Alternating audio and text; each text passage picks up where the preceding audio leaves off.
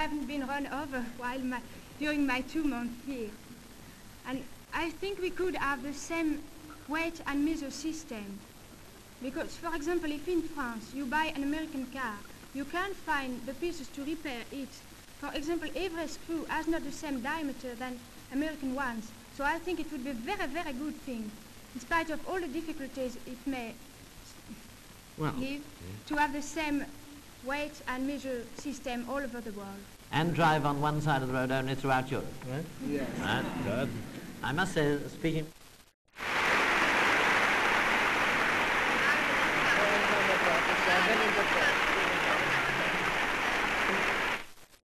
and, and giving our own view. Well, my task is a different one. I want to say a special word to those of you who've come from the British Commonwealth overseas. I was lucky enough to visit some of you earlier this year. You made me very welcome. Your friendliness and your kindness warm my heart. I hope that in this old country, which many of you still call home, you will have as much happiness as I have had with you. And I can wish you nothing better. Now, before I talk about overseas, I spent some part of my life in international affairs. Like our friends here, I visited many lands, privately and officially. I believe that among our American friends, there are men whom they call hobos.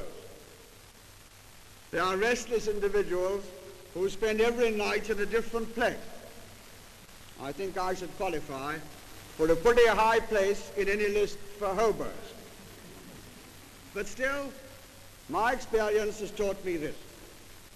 There are times, for instance, in a gathering like this, when we think it ought to be quite easy for nations to understand each other. This is not altogether true. There are other times when we feel that understanding between the countries will never be reached. And that isn't altogether true either. The reality lies somewhere between the two extremes. Therefore, I say to you, and especially to our friends who have spoken this afternoon, as you go about and try to explain and create international understanding, do not exult and do not despair. Just keep pegging away. And that brings Well, now, just before we begin this second half of the forum, I want to apologize to various briefly who they are and something of their background. On my immediate right, at the far end rather, is Patricia Tarbett from Canada. She is 18.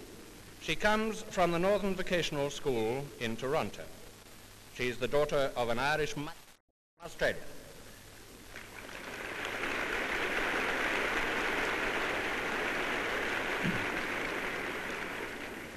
Keith Rayner is the son of an Australian mother and a Lancashire father. 19 years, a lot more about him, and we coming last to our European representative on this board. All right, having introduced the team, let's get to the first question, which is the views of the representatives about the contribution Europe can make to the world we want. Brian Woods, let's hear from New Zealand.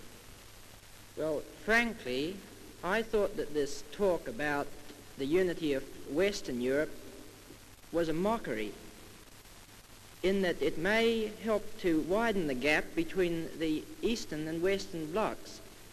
The question arises as to whether we are actually becoming united or whether we are simplifying and thus making much stronger our disunity. I think, as I believe Italy and Norway thought, that we must keep very clearly in our mind the goal of world unity. Thank you, Brian. Uh, Marilyn Saar from the States. I'd like to say that I entirely disagree with Brian. First of all, the Marshall Plan is one way of uniting these peoples. To make it work, they must unite economically, politically, and socially. And furthermore, the Atlantic Charter, the Atlantic Pact, does not mean to say that Europe and the United States are combining against a third power. I think it just means they're starting the combination. This combination must be furthered. First of all, by us starting it, and then by letting Russia and the other satellite nations join us. We do not mean to, as uh, some people seem to think, to keep Russia out of it. The whole idea is to bring her and the rest of the world together. Thank you, Marilyn. Keith. Well, I think that the, uh, the ideal of European unity is an excellent thing, and we must all strive towards it. And as someone from the Dominions, I agree entirely with what Mr. Eden said, that the Dominions have set a, a wonderful example. The Dominions, in their relation with the mother country, they have set a wonderful example to Europe. And I feel it's of extreme importance that we should do everything we possibly can to strengthen our already fairly friendly relations with the new dominions of India and Pakistan and Ceylon. It's quite easy for people in Britain to feel very friendly towards people in Australia because, as Mr. Eden said, we are very much the same. But if we can show, too, that we have a commonwealth in which we are very friendly and, and have a very real spirit of fellowship for completely different people as those in India, then we're setting a wonderful example to Europe. And not only an example, but I feel a basis for a wider Commonwealth, not just a British Commonwealth in the future. Thank you, Australia. What statements and suggestions? Keith mentioned the excellent unity between the different dominions and the Commonwealth. But hasn't the link between the dominions become a bit weaker now?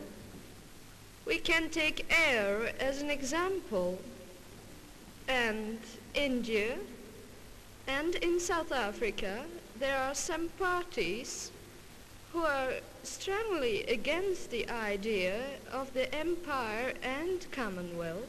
I would like the dominions to answer to that. Well, let's choose from South Africa Gerald Gordon Davis. Well, in my view, I think Australia has very well stressed the importance of the Commonwealth to the rest of the world. And I disagree with the European representative who speaks about the breakup of this happy family. Because the countries I represent, the West Indies, have now on foot a plan to federate the British West Indies. And then when that has been done, Dominion status would then, I presume, follow. And the strategic importance of the West Indies in a time of war, which we cannot afford to uh, omit in our considerations, would be of incalculable value. Also, it would introduce a new economic force for the empire leaders, or rather I should say, Commonwealth leaders to consider. Are you satisfied? Have you anything else to say about these different countries and the way they live and the way they think and the ideas they've suggested? Well, I'll say farewell to food now. uh, but uh, I go on to the people who produce food. That's to say, the farmers. It is quite well known, and Keith has already mentioned it, that the population in Australia is not very dense. There are vast areas which are deserts, but they could be made fertile if they had a people for it. So in India now at the moment there is extreme poverty because India is simply crowded people live well at a distance from nose to nose almost. So, why don't the Indians go to Australia? I do not mean that millions and millions of Indians should go immediately to Australia, because then Australia would be in the position that India is in now, because Australia cannot support a vast amount of people coming at once. But couldn't it be possible that, well, let's say a thousand Indians would go and make some land fertile, and then again thousand would go, and so on and on until the whole of Australia was uh, ready for agriculture.